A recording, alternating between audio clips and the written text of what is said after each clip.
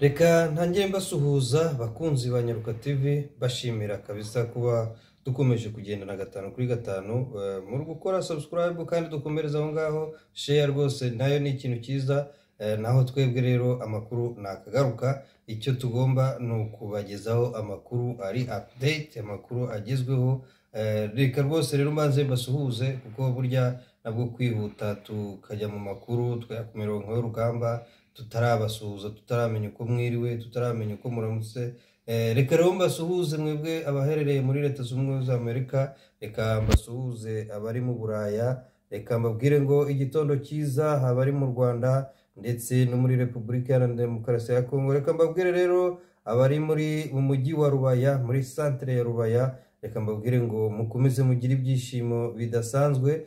Abari mu mujyi wa goma namwe mwihangane. Mbabwire ngo eh, muhishiwe amahirwe azagera mukava muri iyo muri ubwo buryo muri iyo ntambara ibahora ku mutwe muri ayo masasu ahahora. Reka rero ariho ntangirira reka rero ntangirira mu makuru yacu mbabwire ngo eh, mukomere ni nako eh, mwebwe badukurikiye rwose dutangiriye amakuru yacu muri mu mujyi wa goma. Aha rero mu mujyi wa goma byifashe bite? Mu mujyi wa goma eh, ibintu ntabwo ari byiza cyane ntabwo ari nk'uko twari tubiteganya kuko eh, nyuma y'uko guverinoma guverinoma ishyizeho eh, ingamba zo guhiga aba bantu bakoraga ibikorwa bitari byiza eh, ba zarendo ndetse n'abandi ubu noneho ibintu byahindutse. Amakuru rero turi gukurura amakuru akomeje kugaragazwa n'ubutasi bwa M23 nuko muri uyu mujyi noneho mu nkengero zaho bamaze gushyira eh, FDLR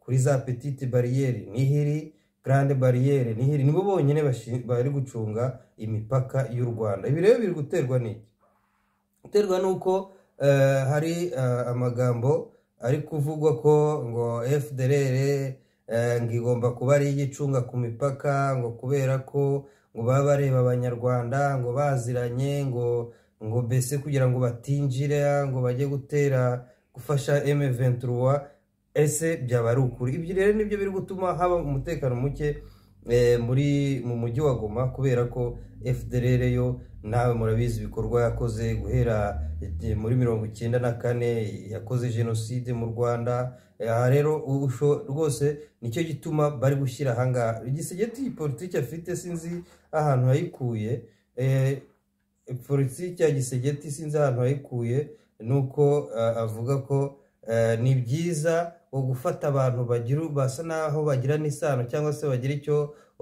bafitanye eh, nk'isano cyangwa se umubano runaka none akaba ari bo barwana. Ni ukuvuga ngo nk'ubu arafata abanyarwanda n'abanyarwanda. Ni ukuvuga ngo fdr ni abanyarwanda agashyira ku mupaka abavuga ati noneho reka ba bari- bariya bari bwumve ururimi rwo bari buvuge bari bujye bagira kuko fdr ubu ngubu iravuga ururimi rwa congo ujya kumva ukumva eh, baravuga iringara baravuga ibiswahili baravuga ibifaransa eh, kugira ngo base n'abaho ngaho mbese ba- bagaragaza ko ari abakongomani ko ari frdc aho ngaho naho ubundi amakuru ariho ni uko fdr niyo irinze ikibuga cy'indege niyo yahawe misiyo yo kurinda ikibuga cy'indege fdr niyo yahawe misiyo eh, yo kugira ngo icunge imipaka eh, hariya mu mujyi wa goma ni izungurutse hariya kugera hasi ku mazi uzamutse hejuru ku kibuga cy'indege ni uko nguko byifashe. Mo imbere rero mu mujyi naho amasasu ni buri kanya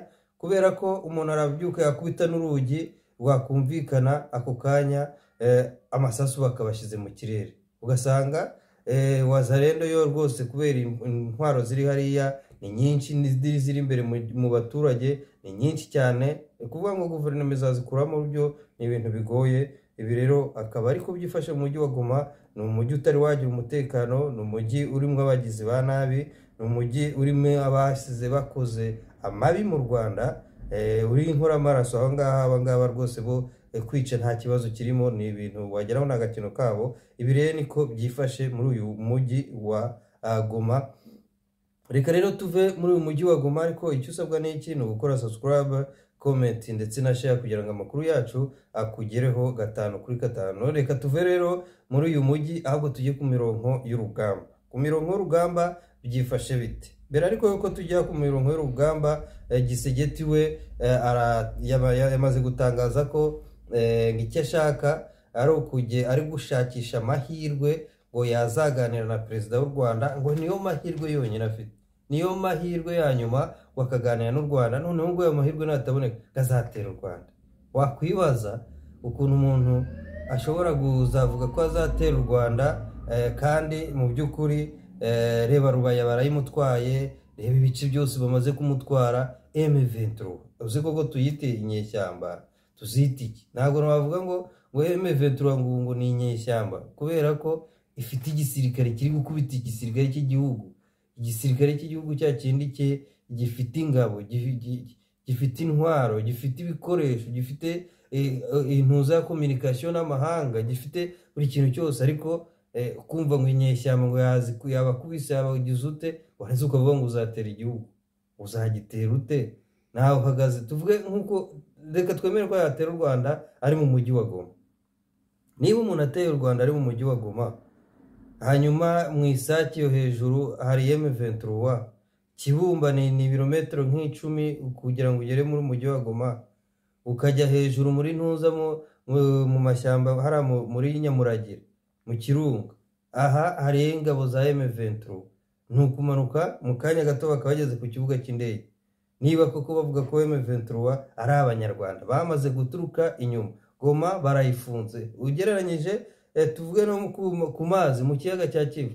M23 iri mu misozi ya za shasha yo hejuru ni ukuvuga ngo gutera eh, u rwanda uri, hagati y'amenyo nk'ururimi sinzi niba watera eh, tuvu- tuvuge niba uteye umwanya bafite ni uwu ahubwo iki umwanya bafite ni uwo guhungira mu rwanda umunsi M23 yamaze kwinjira yamaze kuba determine ivuga ati twebwe tugiye gutera eh, umujyi wa goma tugiye kuwufata. Nk'uko eh, Corneille Nanga akomeje kugenda avuga ati byanze bikunze uyu mujyi niwo dusigaje uyu mujyi niwo tugomba gufata uyu mujyi rero akaba ariho avuga ko byanze bikunze agomba kuwufata eh, bakawushyira mu maboko ya M23 bagakomeza za Bukavu n'ahandi. Rero ibintu gisegeta ari kugenda atangaza eh, na hamwe imbere mu banyepolitiki rwose ni nko ku- kumuseka cyane bibaza bati uyu mugabo ibyo atekereza arabizi ese igihugu cye aho kigeze? Yaba azi se amakuru y'ukuntu byifashe muri Nord Kivu? Sinzi niba koko uh, uyu muntu yaba azi amakuru ye eh, y'igihugu cye cyangwa se wenda n'abamuha amakuru eh, bamwohereza ripoti y'uko urugamba rwagenze bashobora kuba bamubeshya bashobora kuba bamubwira ati eh, twebwe turi rubaya bakaba bamubeshya ati twebwe turi mushaki bakaba bashobora kuba bamubwira ati twafashe nyanzare twakuyemo M23 bakaba bamubwira ati twakuyemo kibumba twakuyemo eh, igice cya kicanga.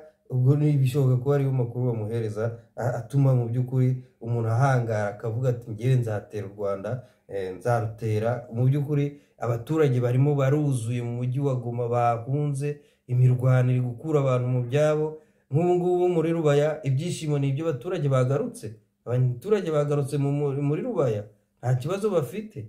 Imushaki baragarutse ba- baratuye. Kirorerwa baranywa amata.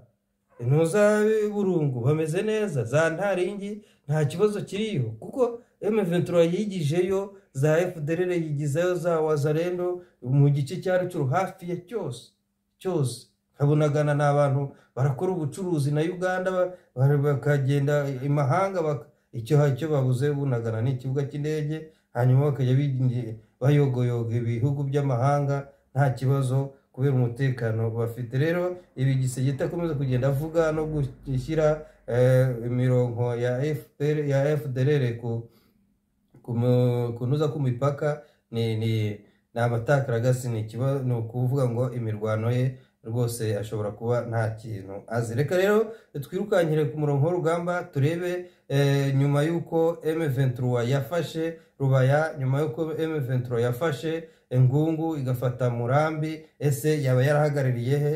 Rero F- eh, nubwo iyo ari aho ngaho wazarendo ndetse n'ingabo z'abarundi izo zose zakwiye imishwaro eh, kuri ubu ngubu eh, ubwo bari bari muri ntuza bamaze gufata rubaya barakomeje bafata abari bari muri ntuza ya ngungu bafata ngungu bamaze gufata ngungu barakomeza ku buryo ubu ngubu bari mu rugabano aho imirwano yari iri ubu ngubu eh, urugamba rwari ruri kubera mu rugabano rwa sud kivu na nord kivu.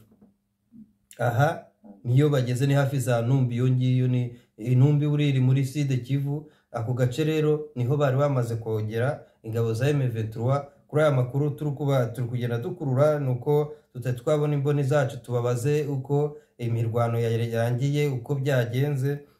Ni mu mupaka neza neza ni ukuvuga ngo ubu noro kivu eh, imaze gusa n'aho ijya kujya muri M23 neza mu murongo mwiza cyane eh, ahubwo abari eh, abahunze impunzi ziri mu bihugu bitandukanye yaba ari mu Rwanda yaba ari eh, mu gihugu imbere eh, ni icyizere kitoroshye ni icyizere kigaragara ko eh, bishoboka ko ari amahirwe ah, umuntu ashobora kuzongera eh, kuzasubira mu gihugu cye akaba yagitemberamo cyangwa se wenda akaba yagira eh, yagira icyo agikoramo cyangwa nawe agataha akareka kuba mu buhunzi buriya kuba mu buhunzi imyaka mirongo itatu eh, ubu wabibayemo ni we ubizi ni we uzi uko byifashe. Ubwo ngubwo nawe aba azi igisobanuro cyo kuba impunzi icyo ari cyo.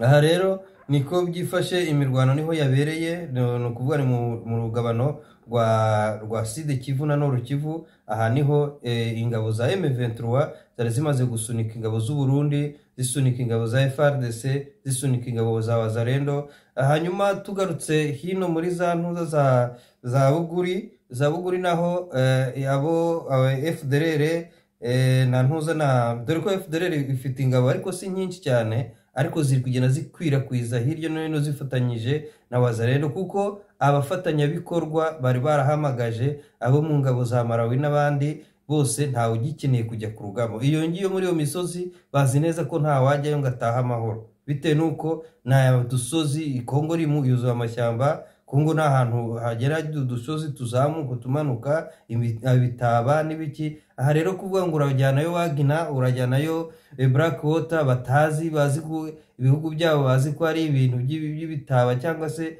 wenda bazi aho urwihisho rwabo ruri. Nta n'amashyamba kenshi eh, mu bihugu by'amahanga iyo ngiyo bishobora kuba bifite nk'ayo muri kongo Iyo kongo ifite amashyamba ahora ajojoba imvura kongo ifite amashyamba menshi ifite intoki ifite ahantu henshi hagira ibi- ibi- ibihingwa ari ibishyimbo ari ama- ari amasaka. Buriya kubona umu- umuntu yihishe mu masaka uhazi uzi ko amasaka isaka ritandukana n'irindi cyangwa se ukaba uzi umuntu uburyo wihisha mu nsina azi hagati y'insina ngo haba hari rero bitandukanye na wa wundi uri buze yinjira gutya bya bindi ngo ni imyitozo. Yitoreje ahantu hatari insina yitoreje ahantu hatari amasaka yitoreje ahantu hatari ibishyimbo ahubwo rero kumva ngo ugiye guhangana n'umuntu wabyitorejemo rwose burya awukurusha itere aba afite hafi eh, kimwe cya gatanu eh, cy'insinzi y'uwo muri guhangana. Rero ubu muri bice bya zabuguri byagenze bite? Mu bice bya zabuguri rero eh, abasirikare ba FARDC benshi batangiye kugira ute? Batangiye guhunga. Kaza gatare hasigayeho honyine.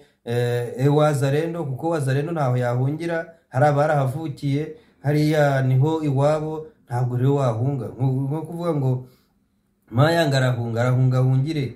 Ariko FRDC FARDC bari gukura za Kinshasa FARDC bari gukura za za za Katanga bari gukura mu bice bitandukanye. Kuvuga ngo rero ngo arakomeza gume muri Buguri arakomeza gume kuri ntuza za Gasheberi agume za Cyangurube agume za Gatare iyo ngiyo. Nta ntacyo yaba ari kubakora kuko byanze bikunze abavuga ati ngewe icyo ngiye gukora ni iki? Eh, ni ukugira nivire ahangaha dore amakuru amaze kumenya ati ba- bakuyemo iki gice bakuyemo ikindi. Buriya kuba bakuyemo na rubaya rwose ni intsinzi ikomeye ni intsinzi idasanzwe.